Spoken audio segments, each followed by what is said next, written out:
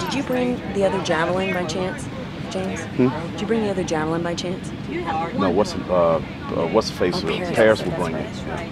Because there's a girl whose coach is is like hours away, and Oh my uh, said Miranda she could use Miranda's, but that's gonna suck for warm-ups. Yeah.